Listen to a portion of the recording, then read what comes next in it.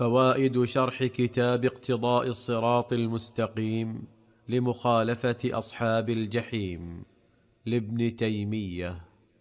بمناسبة هذا الحديث حديث عمر ورغت أحيانا يسمع المسلم برامج تنصيرية من بعض الإذاعات والمحطات. هل لها هذا الحكم نفسه؟ هذا لا يجوز إلا لمن عنده علم يريد الرد عليهم الاطلاع على ما هم عليه من الباطل من أجل أن يرد عليهم. لا يجوز إلا للمختصين.